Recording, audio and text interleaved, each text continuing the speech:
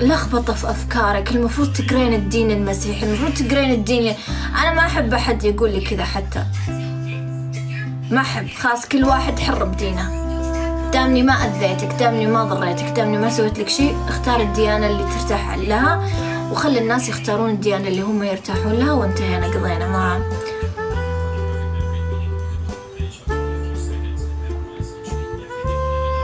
يا قلبي يا سمر قلب قلبي والله.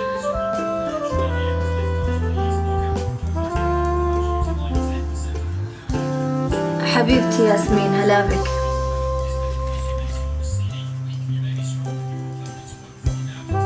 يا عالم ما نبي نتكلم عن الدين لأن إذا أنتم تبون تتكلمون عن أمور دينية روحوا عند ناس أهل لهذا الموضوع. يعني تجون عندي تبوني أتكلم عن الأمور الدينية ليش؟ من زين المحتوى حقي عشان نقعد نسولف عن الأمور الدينية. خلاص يا أخي. غيروا الموضوع ممكن؟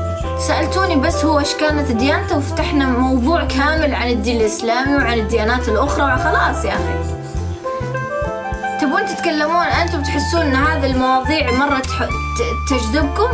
بتلاقون حسابات كثيرة تتكلم عن هذا الموضوع مو حسابي.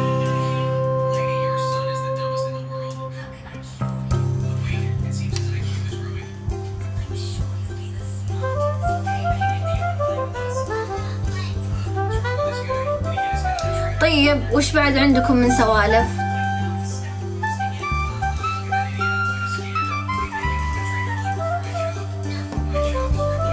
هلا والله يا آدم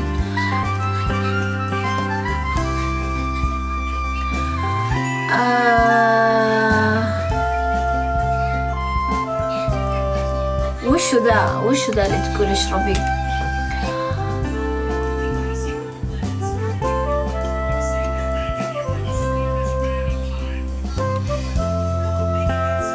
شكرا يا الأمير سعد.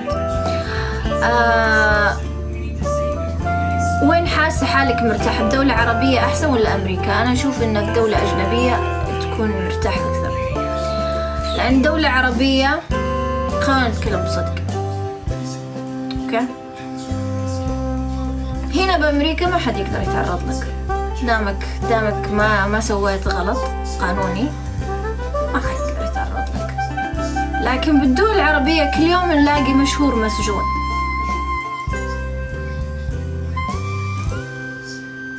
كل يوم نلاقي مشهور مسجون. وش السبب؟ أوه صور سناب. وش السبب؟ أوه صور تيك توك. السجون العربية أحسها صارت ثلاثة أرباعها مشاهير. ف من وجهة نظري وتبقى وجهة نظري إن إذا أنت محتواك شوية يعني ممكن يكون حساس أو مؤذي لبعض ال- العادات والتقاليد أفضل لك إنك تكون مشهور في دولة أجنبية وليس بدولة عربية. وخصوصا إذا أنت كنت مؤثر عربي. إي والله يا نوشي. الحمد لله مع إني ترى توني أكلت آه، آيسكريم بس إنه لا الحمد لله ماشية على ال diet وملتزمة.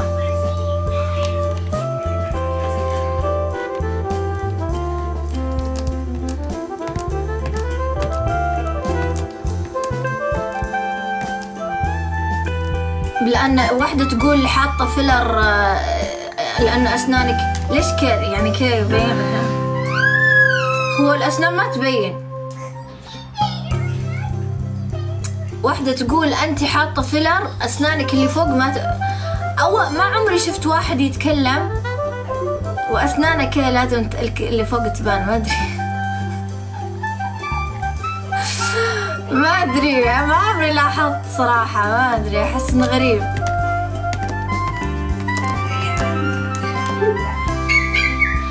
لكم نكتة على طار العسكريمات. عسكريم. في واحد طلب أبوه آه راح راح عند أبوه يبغى آيس كريم. قال أبويا أبويا العسكريمات العسكريمات. تعرفون سيرة الآيس كريم؟ العسكريمات. مات قال أبوه من العسكري اللي مات؟ وين العسكري اللي مات؟ أدري إنها سخيفة بس جت في بالي. لازم أشارككم. كل شيء حتى السخافات.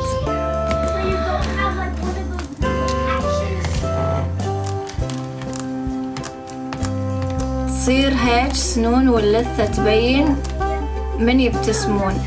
والله أنا من يوم أعرف نفسي كذا أسناني يعني أنا أصلا حتى حتى لما أحيانا أسولف تبان هذه الكسرة أنا نص سنتي مكسورة. هنا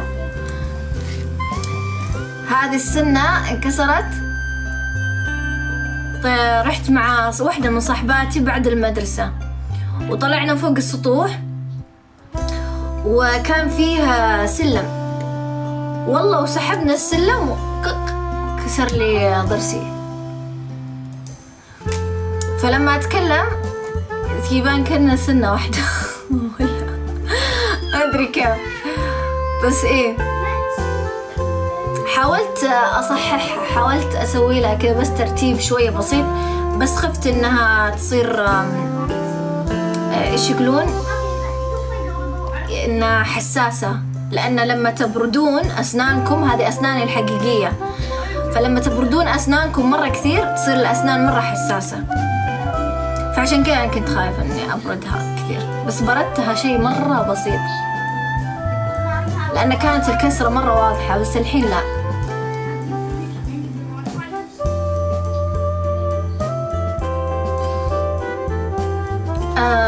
ممكن سؤال شلون عشتي في أمريكا أنت وعيالك؟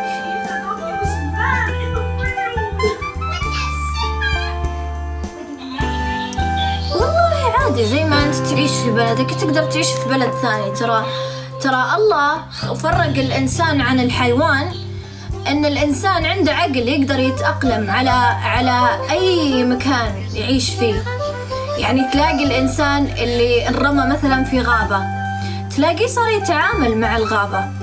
الإنسان لما يروح في مكان بارد تلاقيه يصير يتعامل في المكان البارد يبني له مكان دافي يولع النار يسوي هذه الأشياء. الإنسان يقدر يتأقلم في أي عيشة كانت. فهمتوني؟ فهذا هو الفرق بين بين الإنسان والحيوان.